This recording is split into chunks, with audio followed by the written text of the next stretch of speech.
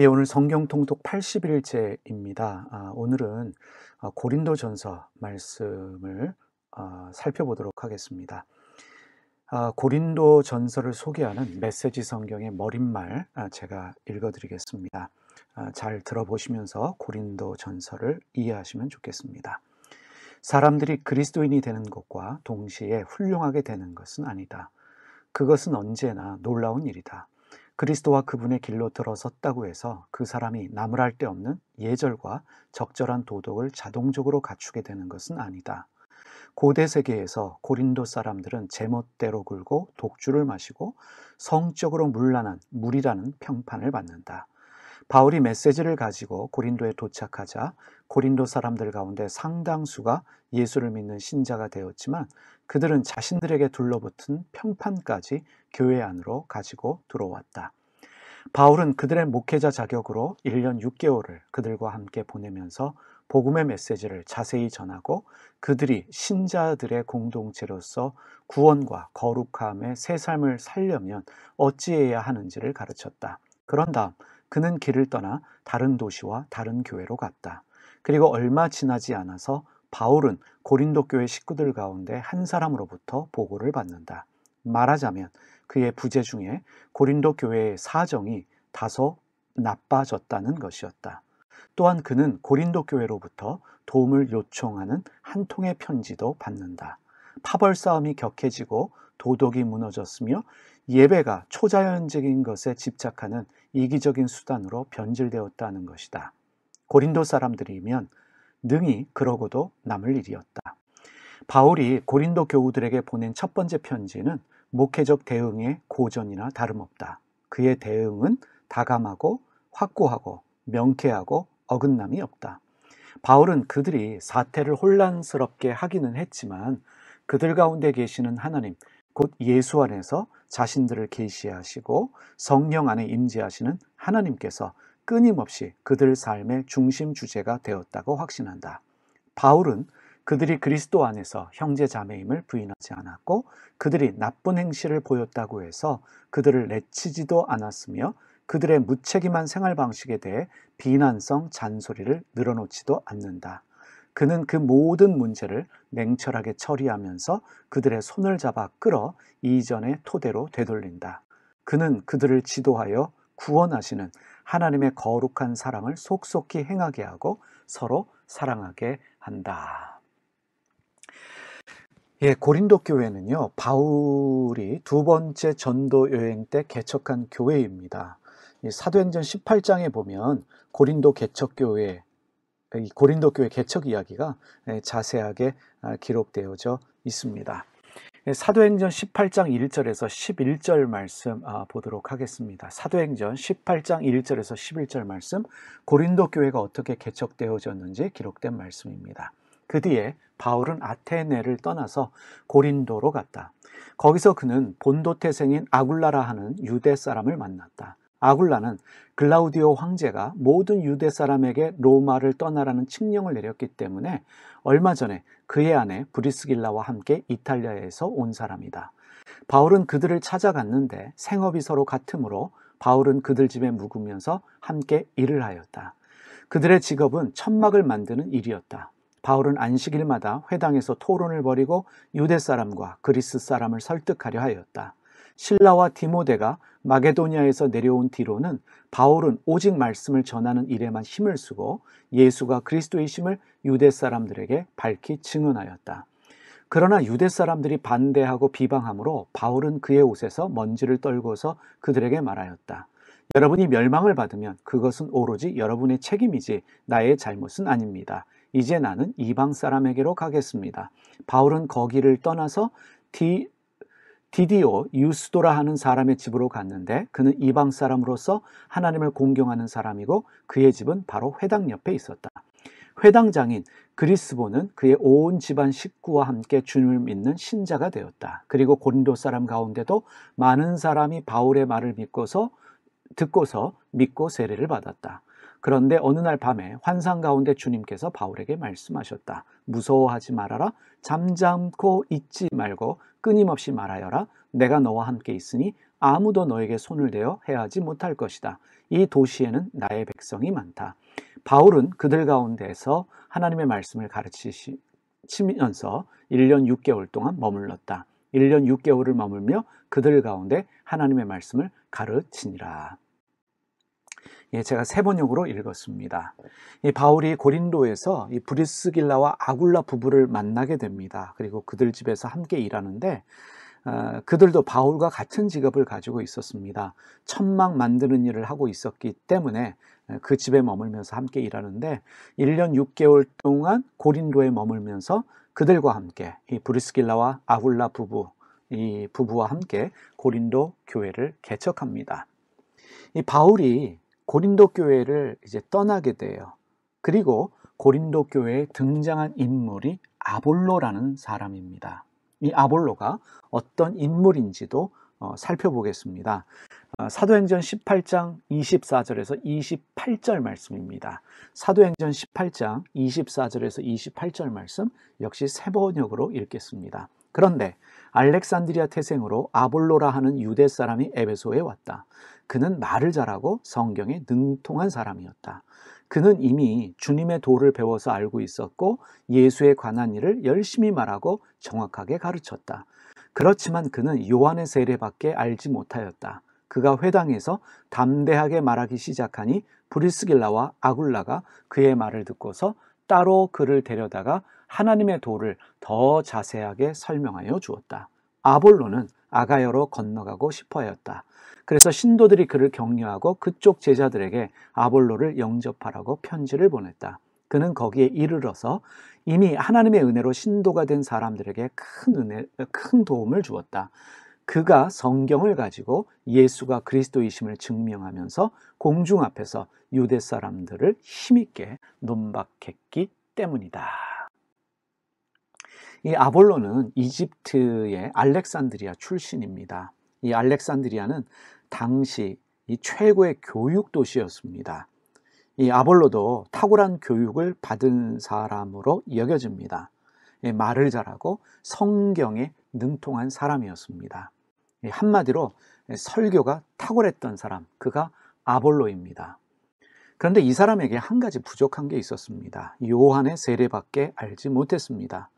그래서 브리스길라와 아굴라가 그의 설교를 듣고 어, 그의 부족함을 알게 되고 그래서 데려다가 하나님의 도를 더 자세하게 설명해 주었습니다. 아볼로는 그들에게서 배우고 더 많은 사람에게 도움을 주었습니다. 성경을 가지고 예수가 그리스도이심을 증명하면서 많은 사람들 앞에서 유대 사람들을 논박했습니다. 성경 해석에 탁월했고 설교가 힘이 있었습니다. 거기다가 당시 사람들이 최고로 여기는 교육의 도시 알렉산드리아 출신으로 요즘 말하면 학벌도 좋은 목회자다라고 말할 수 있습니다. 당연히 설교 말씀이 좋으니 이 말도 어, 힘있게 하는 사람, 이 설교가 힘이 있었으니 이 듣는 사람들이 은혜와 감동을 받았음에 분명하지요. 당시에 뜨는 목회자, 설교자 중에 한 명이었다라고 말할 수 있는 사람 아볼로였습니다. 이런 설교자가, 이런 목회자가 고린도 교회로 오게 됩니다. 근데 바울이라는 이, 이 분은 지식은 탁월했지만 설교는 좀 부족한 사람이었기 때문에 이 새로운 목사의 탁월한 설교에 당연히 성도들이 환호하고 좋아했음에 분명합니다. 당연한 일이지요. 이 고린도후서 11장 6절에 바울이 자신에 대하여 이렇게 얘기합니다. 내가 비록 말에는 부족하나 지식에는 그렇지 아니하니 이것을 우리가 모든 사람 가운데서 모든 일로 너희에게 나타내었노라. 자기 스스로가 얘기해요. 나는 말에는 부족한 사람이다. 그런 목사님들 계시잖아요. 박사 학위도 가지고 계시고 신학교 교수님이시지만 설교할 때는 좀 말에 부족함이 있는 분들이 있어요. 그런데 이 아볼로라는 설교자는 설교가 탁월했고 또 학벌도 좋았고 그리고 지식도 탁월했던 것으로 보입니다. 근데 문제는 바로 여기 있습니다. 이 고린도 교회 교인들이 아볼로 목사를 좋아하는 것에서 끝난 것이 아니라 추종하는 파가 생겨난 거예요. 이 소위 야, 우리 아볼로 목사가 최고다 라고 하는 데서 끝나는 게 아니라 이 추종하는 파가 생겨났어요. 그런데 여러분, 모든 교인들이 아볼라 이 목사의 설교를 좋아하겠습니까? 좋아하는 사람도 있지만 이 아볼로 목사의 설교를 또 싫어하는 사람도 있을 거예요. 바울 설교를 좋아하는 사람도 있겠지요.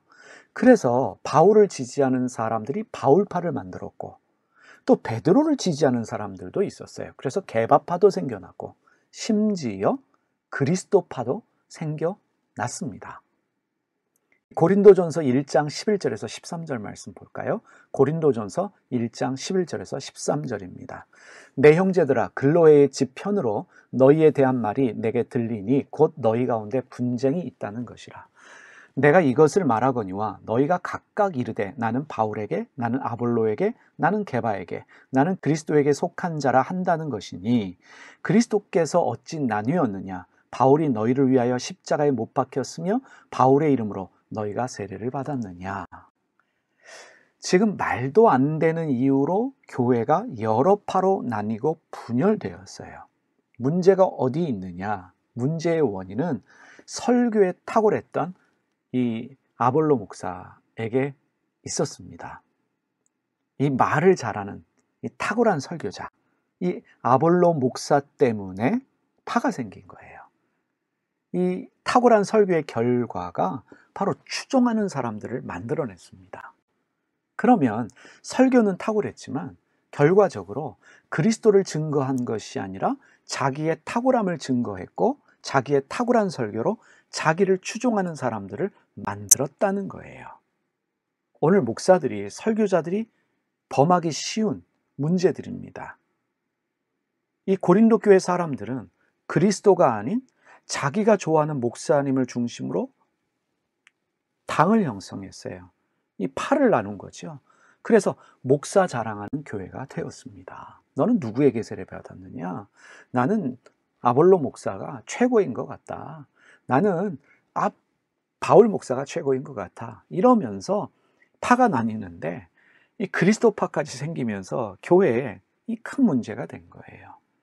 이 소식을 전해 들은 바울이 권면합니다. 그 권면을 읽어보겠습니다.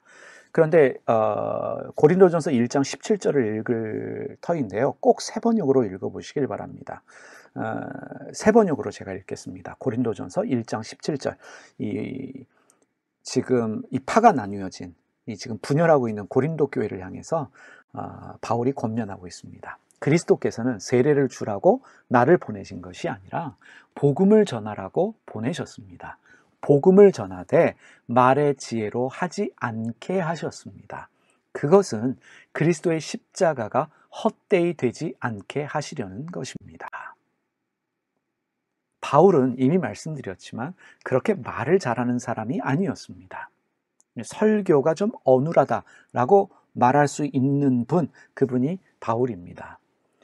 충분히 설교 잘하는 아볼로에게 열등감 가질 수 있는 상황이에요. 그런데 지금 뭐라고 고백합니까? 고린도전서 1장 17절에서 내가 설교를 못하는 것이 아니라 말의 지혜로 하지 않게 하셨다라고 고백하고 있어요. 누가 그렇게 하셨어요? 주님이 그렇게 하셨다라고 말합니다. 내가 설교를 못하는 게 아니라 설교를 못하게 하셨다. 말의 지혜로 하지 않게 하셨다. 라고 말하고 있어요. 왜? 그리스도의 십자가가 헛되이 되지 않게 하시려고 이 고백에서 열등감이 극복되어지는 것입니다. 복음을 전하는 일에 있어서 하나님이 말의 지혜로 하지 않게 하셨다. 왜냐하면 그리스도의 십자가가 헛되이 되지 않게 하시기 위해서 나의 말을 지혜 없게 하셨다. 이 고백에서 열등감이 극복되어지죠. 이 고백이 있을 때 설교와 사역을 통해서 내 사람, 내 교회 만들지 않게 되는 것입니다. 그러면서 고린도전서 3장에 가보면 또다시 이렇게 말합니다. 고린도전서 3장 21절에서 23절 말씀입니다. 그런즉 누구든지 사람을 자랑하지 말라. 만물이 다 너희 것임이라. 바울이나 아볼로나 개바나 세계나 생명이나 사망이나 지금 것이나 장래 것이나 다 너희의 것이요 너희는 그리스도의 것이요 그리스도는 하나님의 것이니라. 교회와 성도는 사람 자랑하는 것이 아니라 그리스도를 자랑할 수 있어야 된다는 것입니다. 목사 자랑하지 말고 교회에 탁월한 어떤 사람 자랑하지 말고 그리스도를 자랑할 수 있어야 된다는 말씀이에요. 이 자랑한다 라는 말의 헬라어적 의미는 머리 위에 둔다는 뜻입니다. 떠받드는 거예요. 신처럼 여기고 숭배하는 것을 말합니다. 오늘 우리 성도님들 그러한 실수 할 수 있어요. 어떤 목사님을 어떤 탁월한 설교자나 사역자를 신처럼 떠받들면서 섬기고 숭배하는 경향이 있습니다. 그렇게 하지 말라는 것입니다. 우리가 신으로 섬기고 숭배할 분은 주님밖에 없습니다. 바울도 아볼로도 게바도 다 너희 것이다. 무슨 뜻입니까? 이들은 신이 아니라는 거예요. 숭배할 대상이 아니라는 말씀입니다. 이들은 주님의 종이다. 교회와 성도를 섬기는 주님의 종일 뿐이다. 라고 말씀하고 있는 것입니다. 여러분, 탁월한 설교자였던 아볼로의 설교는 성경에 기록되지를 않았어요. 남겨진 것이 하나도 없습니다. 그런데 여러분, 말이 부족했던, 설교가 탁월하지 못했던, 하지만 모든 것이 주님의 은혜인 줄 알고 그리스도만 증거했던 바울의 수많은 설교는 성경에 기록되어서 지금도 수많은 사람들을 그리스도에게로 인도하고 있습니다. 그리스도만 나타내려는 마음, 그 마음이 교회와 성도들 안에 있을 때, 무엇보다도 목회자 안에 있을 때, 교회는 분열될 일이 전혀 없지 않을까요? 오늘 우리가 이 한국 교회를 생각하면서 오늘 교회에 생겨나는 수많은 문제들을 보면서 문제가 무엇일까? 어떤 목사님을, 어떤 탁월한 설교자를, 사역자를 신처럼 떠받들고 있기 때문에, 숭배하고 있기 때문에, 그리스도를 나타내는 것이 아니라 나를 나타내기 때문에 그러한 문제가 생기는 것이 아닐까 조심스럽게 우리 자신을 돌아보게 됩니다. 고린도 교회 문제가 바로 이 그 목회자나 설교자를 추종하면서 생겼던 분열의 문제라면 또 하나의 문제가 있습니다.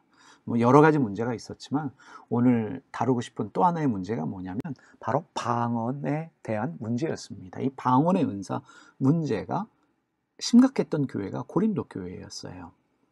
이 사도행전을 제외하고 방언의 은사가 언급되는 유일한 성경이 고린도 전서입니다. 이 고린도 교회가 다른 어떤 교회보다도 방언을 강조했다는 것을 알 수 있습니다. 오늘날 교회 가운데 방언을 유독 강조하는 교회들이 있지 않습니까? 그런데 이 신약에 등장하는 교회들 중에 왜 고린도 교회는 방언을 강조했을까? 이 먼저 이 고린도라는 도시를 이해할 필요가 있습니다. 이 고린도는 매우 종교적인 도시였어요. 12개의 신전이 있었고 그 중에서 가장 유명한 신전이 사랑의 여신 비너스로 알려진 아프로디테 여신의 신전이 가장 높은 곳에 위치하고 있었습니다. 그곳에는 무려 천명이 넘는 여사제들이 있었어요. 예, 이 성전 창기라고 말할 수 있는 이 여사제들이 천명 넘게 있었다라고 어, 이 기록이 예, 남겨져 있다고 합니다. 이, 이 사람들의 종교 의식에 대해서 이 성경 주석가 크리스 웰이라는 박사님이 쓰신 책이 있는데 그분의 글을 인용하겠습니다. 고대 고린도 앞에는 장엄한 아프로디테 신전이 있었는데 사랑과 미의 여신이 성의 신으로 어, 숭배되었다. 신전에는 여사제들이 이교적인 음란한 종교 의식을 집전함에 따라 무화경의 광란 속으로 빠져 들어갔다. 음란한 광란에 빠진 여자들은 다른 사람들이 알아듣지 못하는 방언을 말하였는데 그런 광경은 그리스 로마 시대에는 흔한 것이었다. 여러분 한 가지 이해할 필요가 있습니다. 방언은 기독교에만 존재하는 것이 아닙니다. 다른 신비주의 종교에도 존재하는 이 종교 현상 중의 하나가 방언입니다.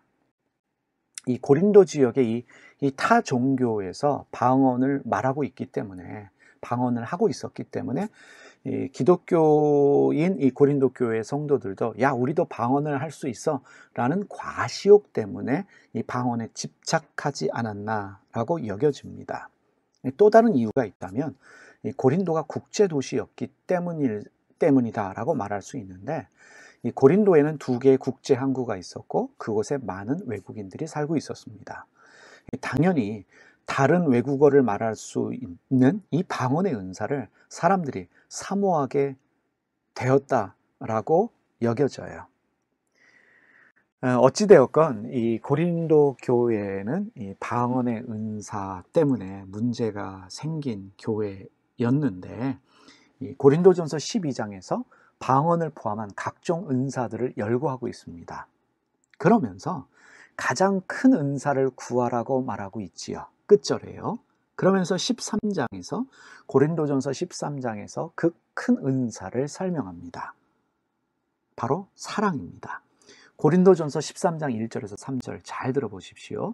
내가 사람의 방언과 천사의 말을 할지라도 사랑이 없으면 소리나는 구리와 울리는 꽹과리가 되고 내가 예언하는 능력이 있어 모든 비밀과 모든 지식을 알고 또 산을 옮길 만한 모든 믿음이 있을지라도 사랑이 없으면 내가 아무것도 아니요 내가 내게 있는 모든 것으로 구제하고 또 내 몸을 불사르게 내줄지라도 사랑이 없으면 내게 아무 유익이 없느니라. 13장 8절 말씀도 볼까요? 사랑은 언제까지나 떨어지지 아니하되 예언도 패하고 방언도 그치고 지식도 패하리라. 이 고린도 교회가 은사가 풍성한 교회죠. 은사를 사모하는 교회예요. 어느 교회보다도 방언으로 뜨겁게 기도하는 교회였는데 문제가 많았어요. 분열했죠. 다퉜죠. 또 이혼 문제도 있었고 신자 간의 소송 문제, 서로 싸워서 법정으로 가는 문제 등 여러 가지 문제가 있었어요. 지금 무엇을 말하고 있습니까? 지금 이들에게 가장 필요한 것은 방언보다 은사보다 사랑이라는 것을 사랑보다 큰 은사가 없다는 것을 지금 너희들에게 가장 필요한 것은 사랑이다 라는 것을 지금 바울께서 강조하고 있습니다. 그러면서 14장으로 넘어가면서 방언의 은사를 집중적으로 다루고 있습니다. 이 D.A. 칼슨이라고 하는 아주 유명한 신학자가 있습니다. 그분이 어, 이렇게 말하고 있습니다. 고린도전서 14장에 가서 바울은 방언을 확연하게 평가절하합니다. 그는 의도적으로 은사 목록에서 방언을 가장 끝에 위치시키고 있음이 분명합니다. 왜냐하면 고린도 교인들은 방언이라는 은사를 너무 높이고 있었기 때문입니다. 이제 여러분들이 14장을 읽으시면서요, 이 지금 14장에서 너희도 방언해라 라는 말씀이 아니라는 이해를 가지고 14장 말씀을 읽으셔야 됩니다. 자, 14장 말씀은 무엇을 말하고 있나? 방언에 대해서 말씀하고 있는데 방언에 무엇을 말하고 있는지를 우리가 주목할 필요가 있습니다. 특별히 이 D.A. 칼슨이라고 하는 이 신학자가 말한 이 부분 주목하십시오. 바울이 의도적으로 은사 목록에서 방언을 가장 끝에 위치시키고 있고 방언을 확연하게 평가절하고 있다. 왜냐하면 고린도 교인들이 방언이라는 은사를 너무 높이고 있었기 때문이다.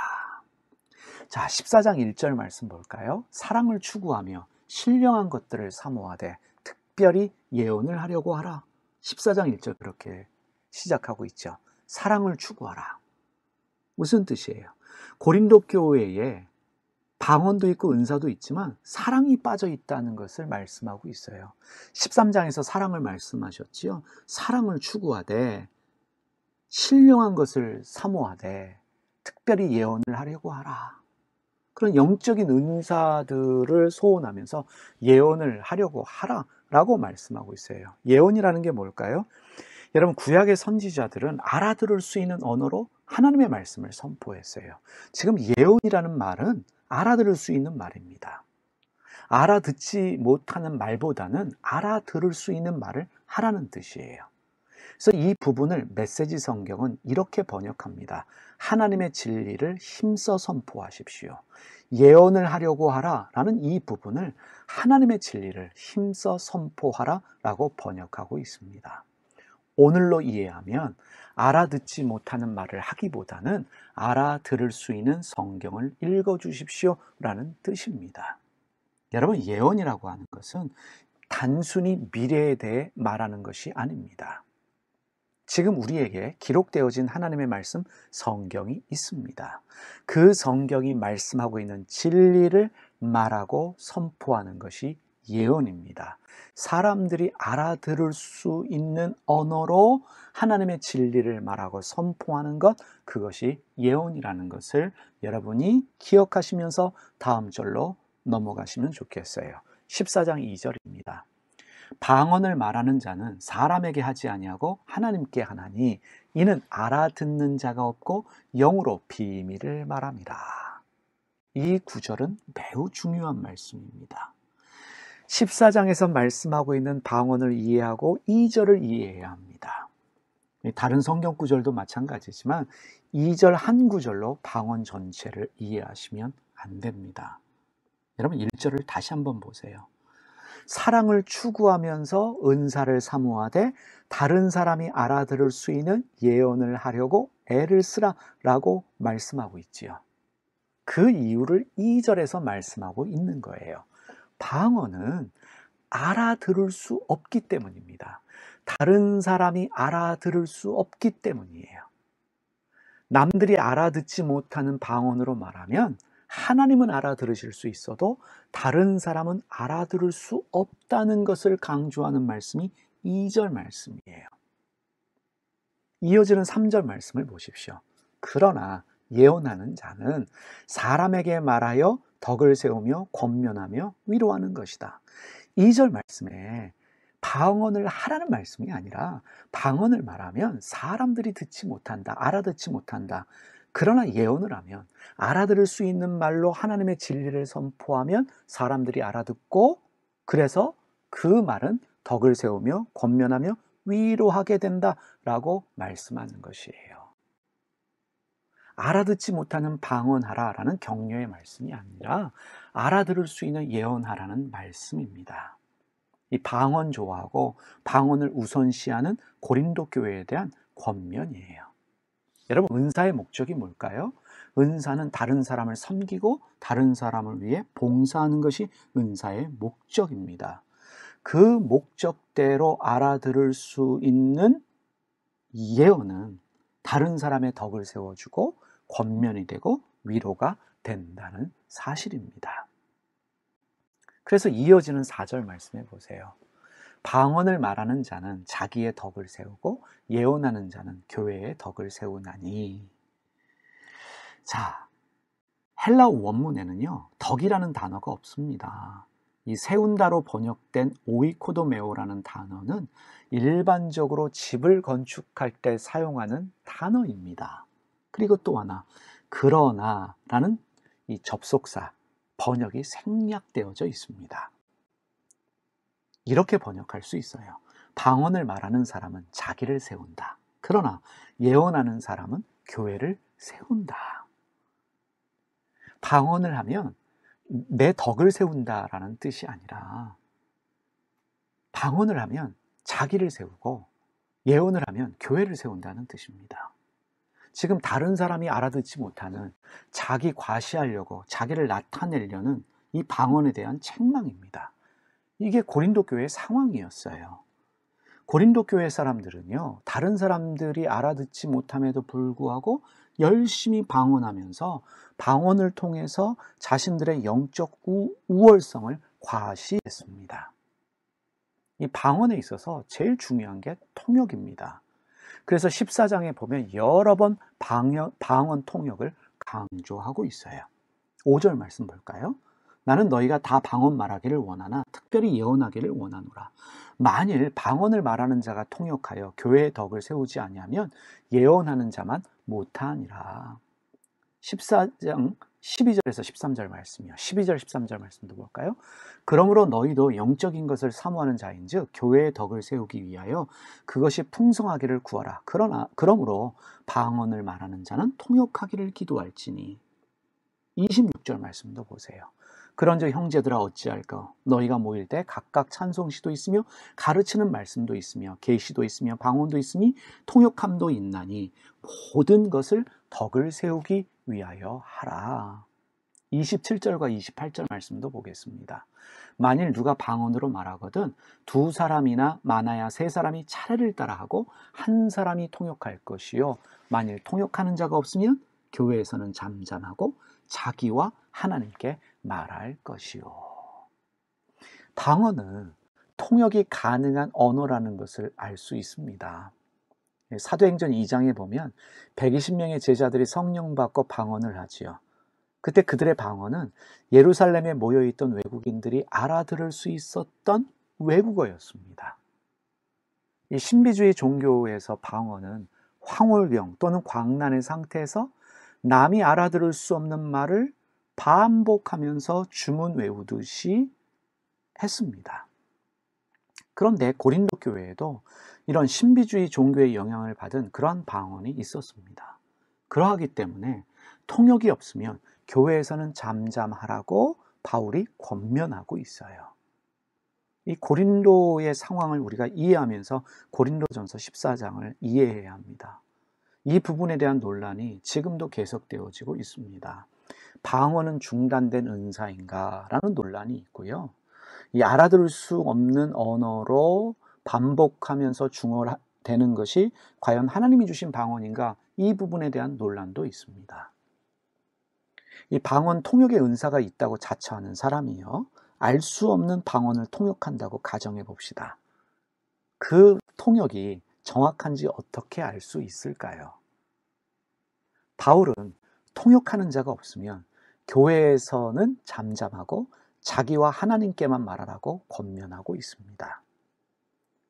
지금 알아들을 수 없는, 이해할 수 없는 어떤 언어, 이 통역이 불가능한 어떤 언어에 대해서 바울이 하지 말라라고 하는 것이 아니라 교회에서는 잠잠하고 자기와 하나님께만 말하고, 말하라고 권면하고 있어요.